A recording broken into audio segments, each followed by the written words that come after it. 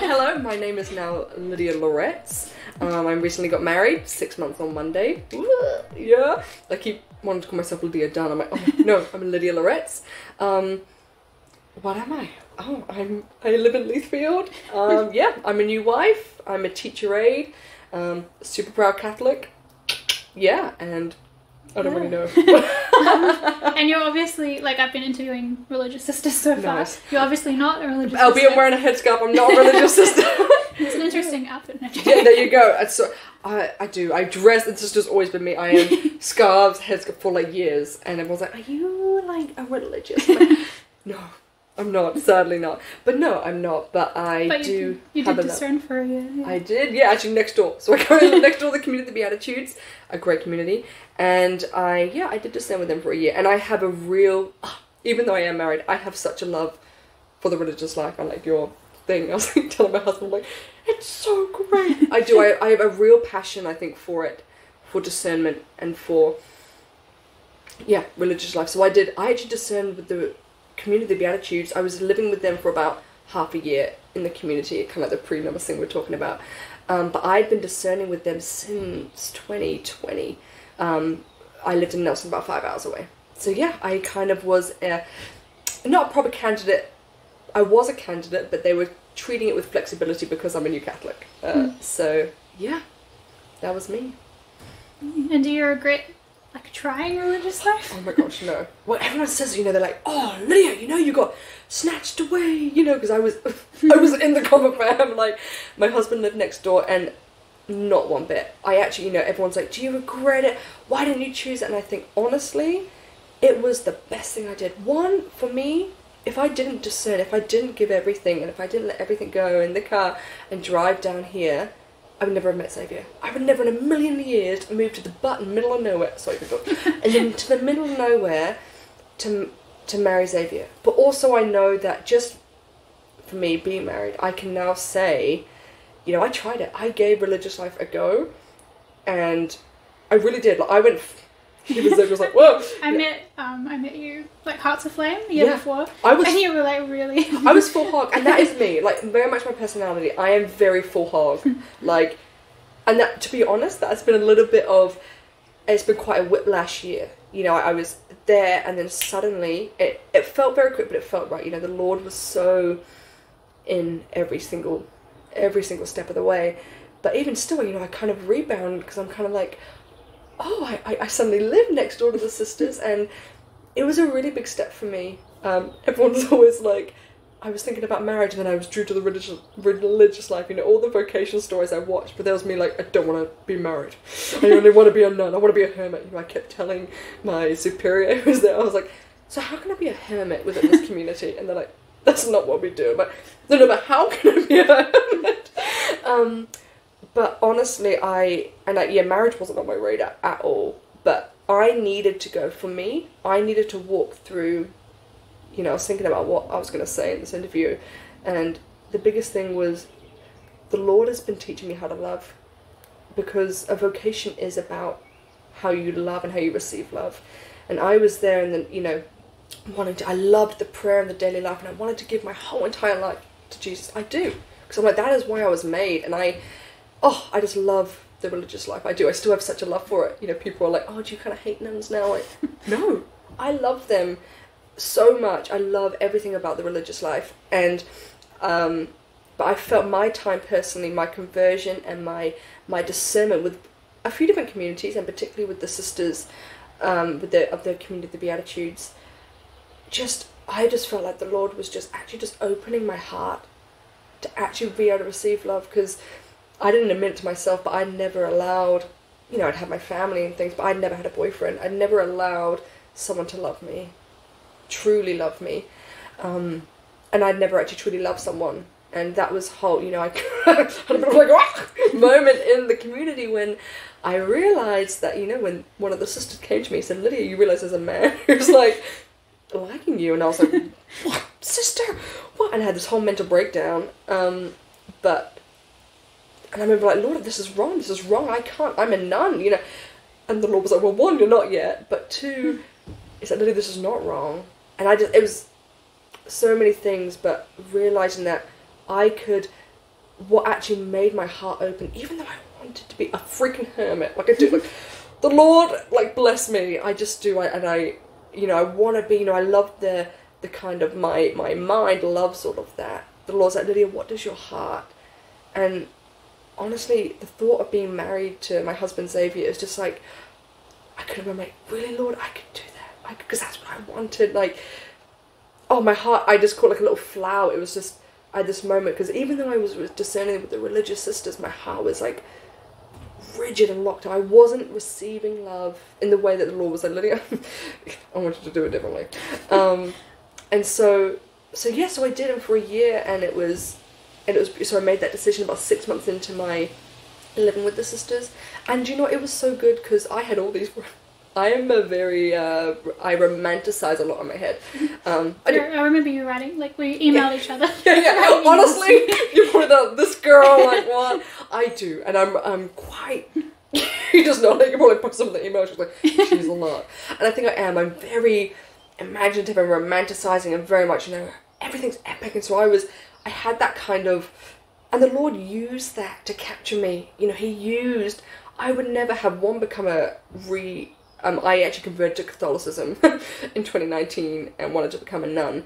And he used, you know, I just the lives of the saints, the the I you know the liturgy, the liturgical calendar. I just you know art, uh, you know religious art and things.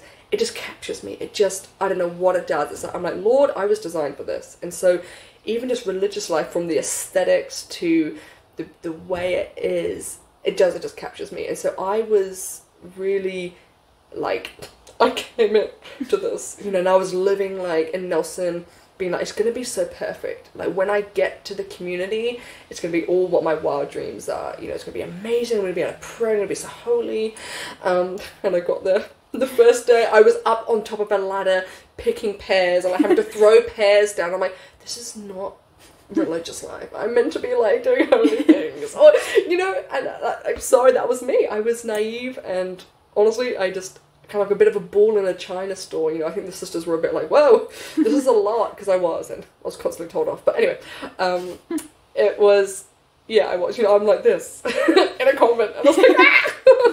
but um, they were really good. But you know, I, but it was so good because what it did, you know, I had a lot of preconceived notions in my head, um, and I went there and lived in the life, and it's not that. You know, it's beautiful, but it was not a lot what I was imagining. Um, and you know, even now, you know, as I was going through, and I was having to address those things, you know, I, because I suddenly was like, Lord, I'm not, I'm struggling with the amount of people. You know, I was like, Lord, I, I'm, I'm quite, believe it or not, I'm quite introverted, and um, uh, I w- was really struggling with living a community life. But I thought, I was like, Lord, I love, I love the thought of having a structured timetable and living with brothers and sisters. Um, I love that, but I was actually really struggling with it. Um, just being exhausted the whole time and not able to, um, and actually having to, to face the reality of what religious life is. I mean, like, Lord, is this actually working for me instead of the romanticized versions of what I thought it was going to be? Um, so no, I don't regret it not at all because I've learned so much and have such a love for them. And I actually now live next door, so I'm like, and, and I still see them, and I they are they're my family. You know, I I really felt you know when I was getting married, I was uh, when I was dating Xavier and engaged, I was still living with the community, and I felt like I had my family, which was some French sisters, and then his family, and so they are they're very special to me. And I like the point you made about like our head versus heart. Like sometimes, especially in our world today, very easy to um, get caught up in what we think yeah. or and what we like what we think or even feel we yeah. should do, but actually yeah. God works through the heart. oh my word, He does, and I'll be honest with you. I, you know, I want to say, now that I'm married, I like no, like I'm like my spiritual journey is like I feel so good at it, and I'm like, da da da. But you know what? Actually, I feel like I am back to freaking basics, like ground level. And I know I'm a I'm a new Christian. I'm only a few years in. I would say, you know, of praying and actually walking with the Lord. But that is for me, and I feel like that's just something that's been coming along in my prayer life. Is like Lily, there's so many things you think should be happening, you think you should be doing, and how you should feel. And it was also hard. I know I got into a trap of how do I explain it? Like you can read so much about discernment or you can read so much about religious life. Like i i'm like the ultimate like i must research and prep everything. So i was reading all the material on how to discern for religious life or how to discern for marriage and kind of wanting to stay in that space of reading all this information and doing it and kind of nourishing my brain in it all. But i really felt the lord said no no it's time to stop. Yeah, like stop thinking so much. I know I feel like that'll be my thing um, forever and more. Like, just get out of your head and into your heart. What is the reality? You know, my prayer is just, you know, and I'd be like, Lord, what do you want from me today? And it's a lot of the time it's, I love you, be present, and live today. And, and I'm like, what do you mean? Lord, that's so lame. like, just actually like, where's your heart at? Because, you know, I don't know, for me, it has to be about relationship. And I got well, you know, I was like, wow, her relationship with God is amazing. And then I sometimes get a bit carried away with, a relationship, oh, it'll be even better when I'm a nun because I'll be able to be super spiritual and then we'll have a relationship. But one time it's just like, Lord was just like, be present. I'm here now in the relation, in the discernment, in the, in the, you're not quite in a box yet. You don't quite know. I'm actually here now. And oh, it's just so for me, I just have to keep reminding myself that because I live in that. Oh, okay, when I'm married, and it, it doesn't stop. Oh, when I'm married, when we have the house, when I have a kid, oh, when I have about five kids, you know, when I have a big Catholic family, and all these things. And the Lord's like, let's not, whoa, whoa, whoa, whoa, bring it back. I'm here today, and you, you know, with no children yet, and just newly married, I'm with you here today, present. I love you, be present, and you know, be mindful of where you are today. And I'm like, oh. sorry my life. Yeah. Do you have any advice for young people who might be discerning um, religious life? Oh man, I get annoyed at people who say they're discerning, but have not done actually anything about it. And I think, I don't know, people were always like, Lydia, you're so amazing, you're doing things. It didn't feel amazing to me. Like, all I did was I was like, all right, Lord, I give you. It got to a point, you know, with prayer, and let's say if you're wanting to discern religious life, um, just do it. Like, just give yourself, you know, especially if you're young, if you, like, give yourself a month and say, all right, I'm going to actually discern. So if it's religious life, okay, I'm going to actually just Lord, show me where do I need to go? Like, I was ready to board a train plane to Jamaica, and they were like, "No, sorry, you can't come." so, um, and that was, but I again, I got, and sometimes I think there's a time and a place for that, but I think especially in our culture when it is so hard, like we live in a culture, especially in New Zealand, our Catholic culture is like it's it's oh, it's easy. You kind of just discern and everything. People are too scared to actually well, it's kind of a bit embarrassing when people say, Lydia, what are you doing? You know, my friends were at uni, and I was like, oh, I'm actually going to a convent. And I lost friends over that. You know, my friends said, oh, nah, okay. I actually lost all but one friend. And that was really hard. And my one friend who did stay, she actually been with me the whole journey, it's amazing. But I did, I lost. And I would cry all the time about, you know, because I, I have no friends. I was like, Lord, you're isolating me. But actually, if I didn't, if I just stayed in where I was in Nelson, being like, maybe I could be a nun, maybe I'll date, or I don't know. I just feel like we're in a time when young people need to just be like, take a step and look, hey, if you spend two or three months discerning, you go to maybe two or three different religious orders, try it for a week or two, and if you realise this is so not for me, you did it anyway. You like you just save time. like, I don't know, and maybe that's poor advice, but I would recommend that. But firstly and primarily is prayer. You know, I say my conversion happened in 30 seconds because I was not walking with Jesus and I got the headspace out and I did a 30 minute silent sit. No, sorry, 30 second. It was like one minute of like walk, 30 seconds of walking you in and then you had 30 minutes of silence. And in that 30 seconds, so I've mixed seconds and minutes again, 30 seconds of silence, I I tasted it was my first experience of prayer and contemplative prayer for me. Um, and it changed my life. And I say that's my conversion was 30 seconds, and that grew into one minute to three minutes to five minutes to 10 minutes. Now I need 20 minutes a day, or else my life just falls apart. Um, and so I would say prayer. Prayer 100% every day make it make it the, your foundation of your life like start you know any vocation whether it's marriage singlehood religious life has to be built in prayer because that's you know our god is a relational god and if we're not spending time in that relationship like how do you build a friendship and that's really and i think for me i thought i could get away with it with not but the more and more i realize well i fell into the trap of oh i'm not a religious life i don't need to pray and then that got me into trouble. So um, just with I was like, all my life, I just I, I, I lose that zest for life when there's no prayer. Um, because that's how God moves and that's how God touches our hearts. So if you are asking, and not just, okay, I'm going to do intensive prayer just so I know what to hmm. discern, Lord, to foster relationship. Lord, how can I, how do you see me?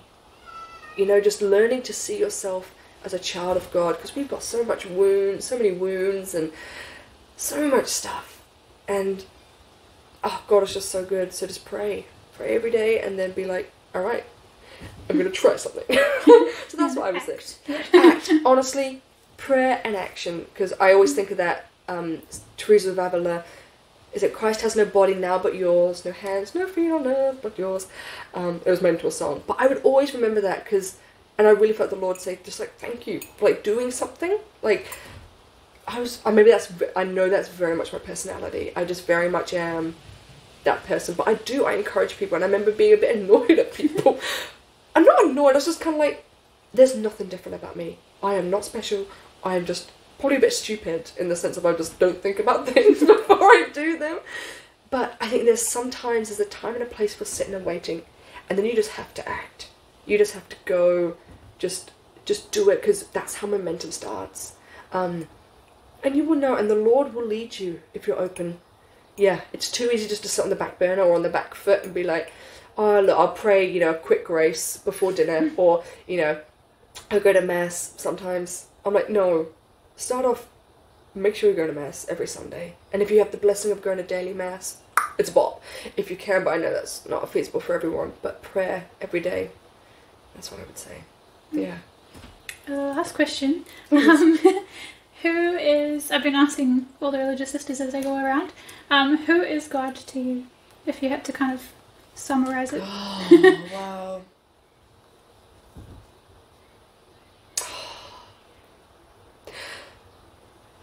I want to say he's every he's my everything.